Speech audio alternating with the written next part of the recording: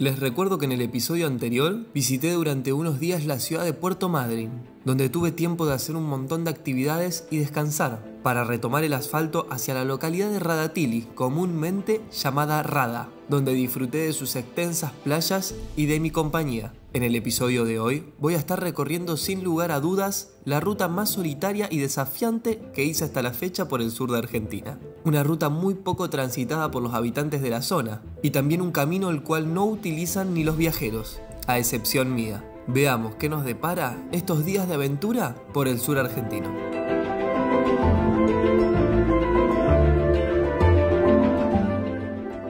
Buen día, Perdón por la cara de dormido, es muy temprano, llovizna acá en Radatili y me levanté tan tan temprano para aprovechar las horas de menos viento en la Patagonia, que son las primeras del día, y porque tengo muchos kilómetros para avanzar que me van a demandar muchas horas. Así que para eso es fundamental arrancar con un buen desayuno para un buen día de ruta. Y tenemos dos huevos revueltos que los vamos a comer en estas tostadas, un café y un jugo de naranja. Fundamental para tener un buen día. Vamos a desayunar la ruta. Bueno, ya con la moto cargada, tenemos todo el equipaje preparado. Nos vamos de Radatili. Estuvimos parando acá en el Radatili Apart Hotel y ahora nos vamos primariamente para Caleta Olivia. Tenemos 70 eh, kilómetros que es donde voy a, llenar el tanque de combustible. En teoría llego porque ayer cargué por última vez eh, en Garayalde a 190 kilómetros de acá, así que 70 kilómetros lo tenemos que hacer lo más bien. Arrancó el día lloviznando un poquito, eh, pero ahora empezó a salir un poquito el sol, el clima está normal, está entre un poquito fresco y como pega el sol está lindo, así que es el mejor de los climas para rutear la realidad. Eh, a la derecha, mm, ¿era la derecha? Me perdí. Vamos a tener que mirar el GPS. Esto es otra realidad del viaje. Cuando salgo de las ciudades soy un desastre y por más chicas que sean las localidades me pasa lo mismo. Me pierdo en las salidas, tengo que mirar de vuelta siempre el GPS. Claro, era para allá. Tengo que salir por esa. Y era bastante obvio, que papanata. Por el caminito este de Tierra Nuevo salimos de... Uy, que está pedregoso. Salimos de Radatili y nos vamos para Caleta Olivia. ¡Ay, que se me cae la cámara! Y bueno, después de unos poquitos metros, acá tenemos la ruta 3 de nuevo. Nos vamos hacia la izquierda, dirección Caleta Olivia. Está nubladito, como les decía. Aparece un poquito el sol a veces y se pone hermoso el clima. Esperemos que, que se mantenga así. Vamos a ponernos los guantes y continuamos.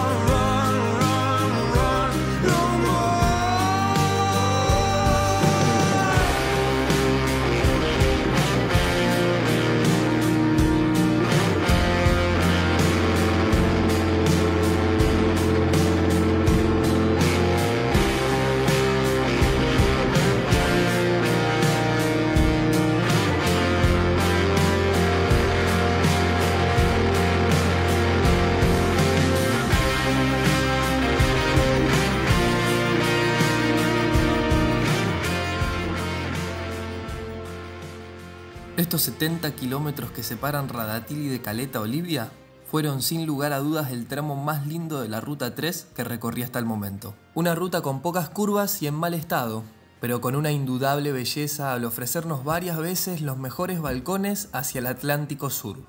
Es indescriptible lo que se siente en el cuerpo al estar sobre dos ruedas, sintiendo con todos los sentidos bien despiertos en el cuerpo la aspereza del clima, acelerar y notar el esfuerzo del motor mientras se recorren estos kilómetros con semejantes vistas. Solo quien lo haya hecho antes podrá dimensionar de qué estoy hablando.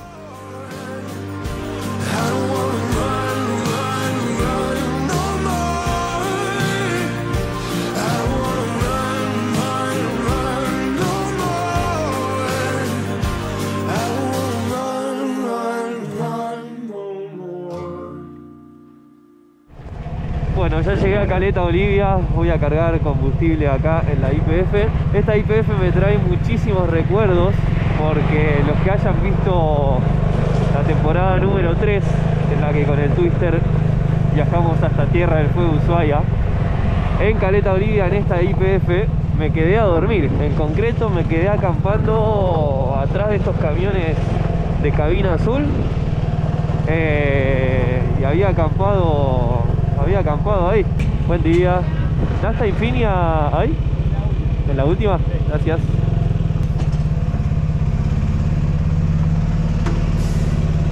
¿Completamos? Sí, lo vamos a llenar.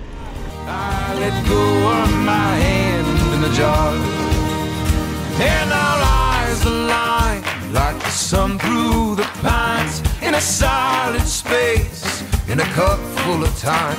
In these orderly ways, in this disorderly life, I let go of my hand in the jar. I let go of my hand in the jar. I let go of my hand in the jar.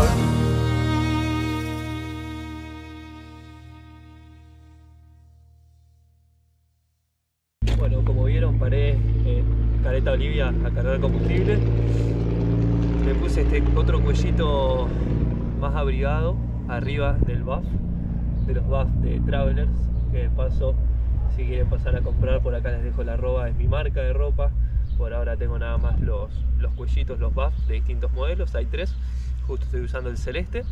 Y la verdad es que están muy bien para cortar el viento, pero ya con el frío que hace en esta zona, eh, ya estaba sintiendo frío en el, en el cuello, así que me puse este que es más bien de polar también, arriba del buff.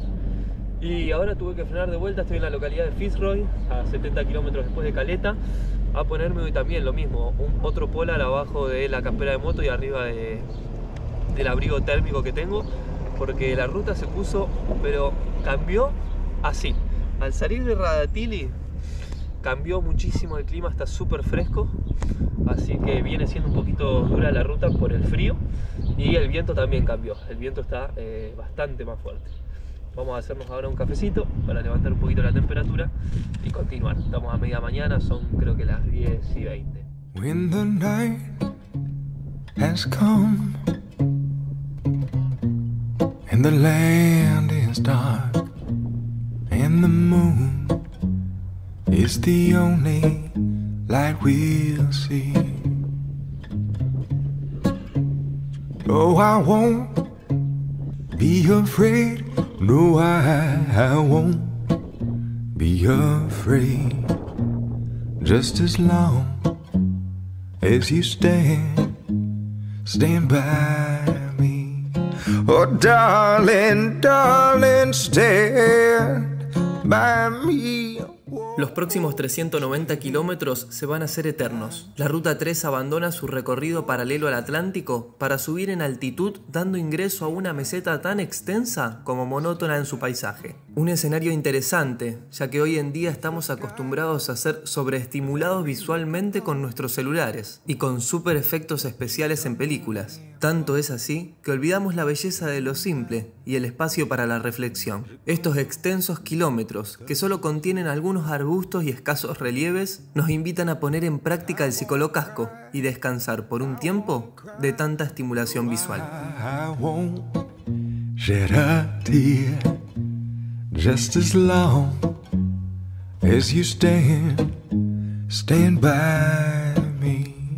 Oh, darling, darling, stand by me.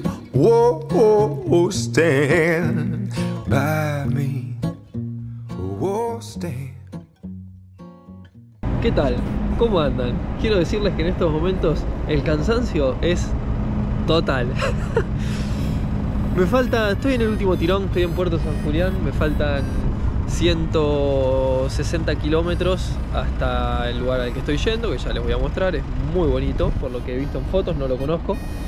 Eh, y bueno, paré a hacer la última parada acá en Puerto San Julián, ya almorcé eh, en tres cerros creo que se llama, o tres arroyos. Ya almorcé, así que ahora nada más me voy a hacer un cafecito y voy a comer algunas galletitas o como para recargar un poquito de energías y, continuar. Vengo muy bien, no tengo sueño, no tengo el cuerpo cansado, lo único que me está molestando es, bueno, a más temprano el frío que hizo y ahora está viendo mucho viento. Y este casco, casco de enduro, como saben, tiene la visera, que si bien me gusta mucho porque al ir andando el sol no me pega tan directo en la cara y no me castiga, pero sí me viene castigando el viento y aunque no parezca con el parabrisas corto que tengo, vengo trabajando mucho la cervical para sostener la postura del casco en una visión recta con la ruta y eso me está liquidando y fatigando muchísimo, muchísimo el cuello. La verdad que las últimas tres veces que frené, lo único que tenía cansado era el cogote. Así que nada, vamos a hacernos un café mientras descanso un poquito el cuello y continuamos el último tirón.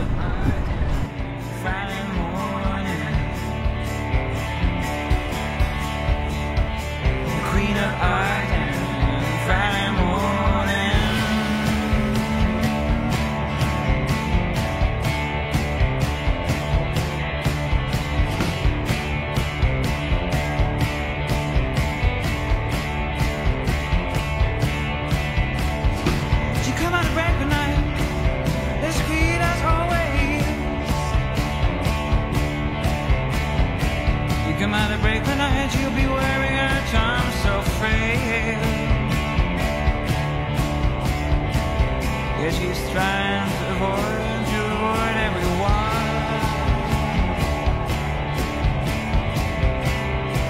Even the battle, the battle for peace.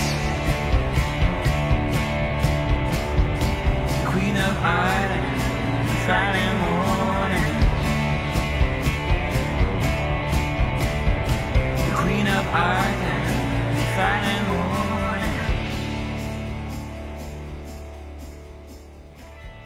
Bueno, como vieron ya llegué al destino de hoy, estoy en Puerto San Julián. Me estoy hospedando en el hospedaje Cabaña San Patricio, son las que tengo acá atrás amarillas.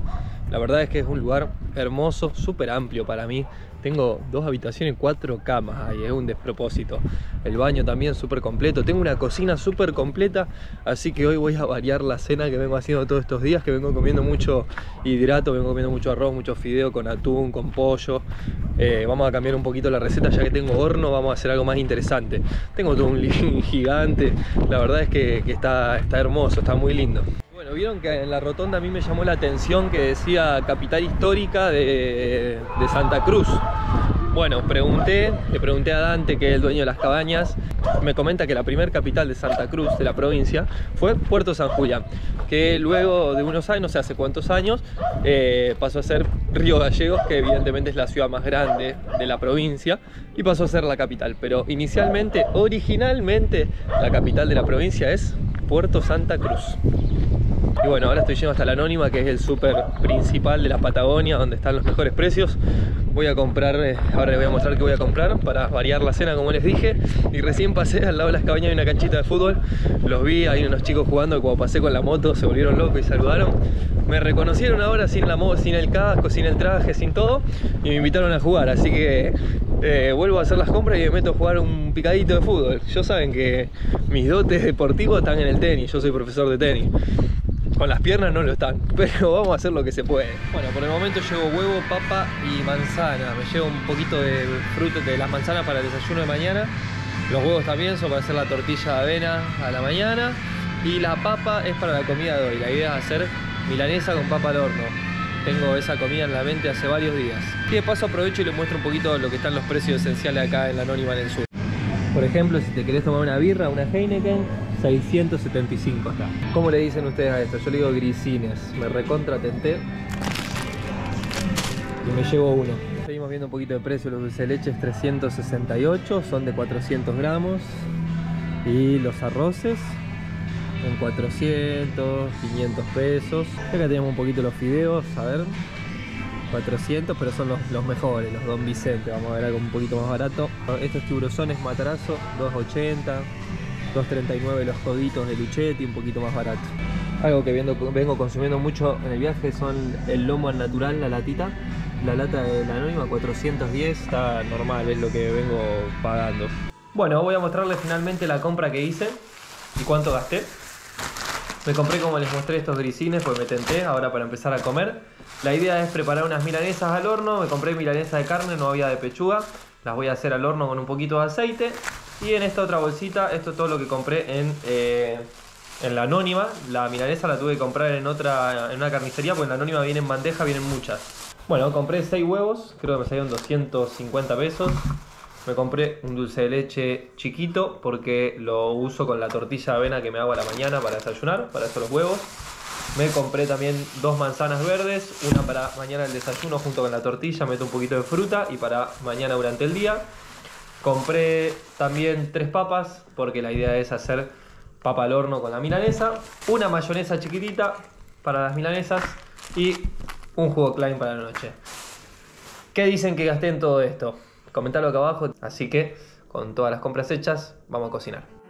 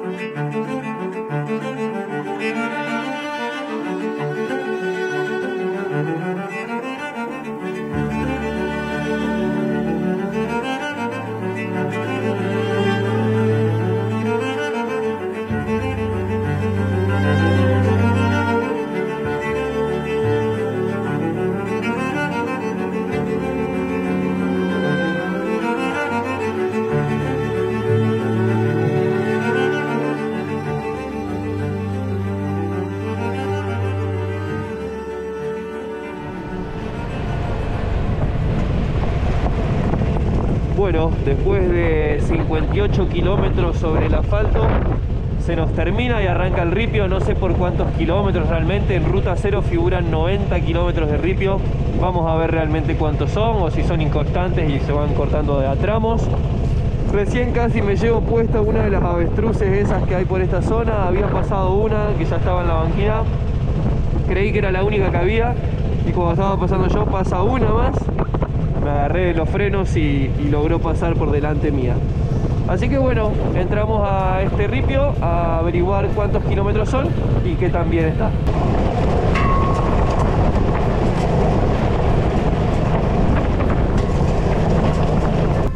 Está súper ventoso, espero que estén escuchando algo. El viento es lo que viene complicando el camino porque te saca a veces de la huella y hay muchas piedras. La moto la verdad es que viene muy bien,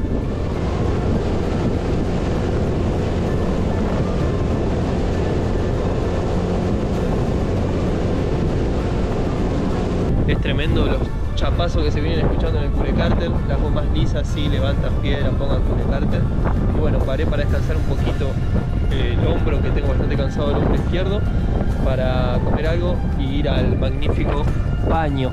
La campera no me entraba arriba de la de moto así que hice un invento medio extraño. La campera de moto la dejé colgando desde el agarre del pantalón. Calculo que esto me va a abrigar mucho más que la campera de moto eh, voy a pasar frío igual, pero espero pasar un poquito menos.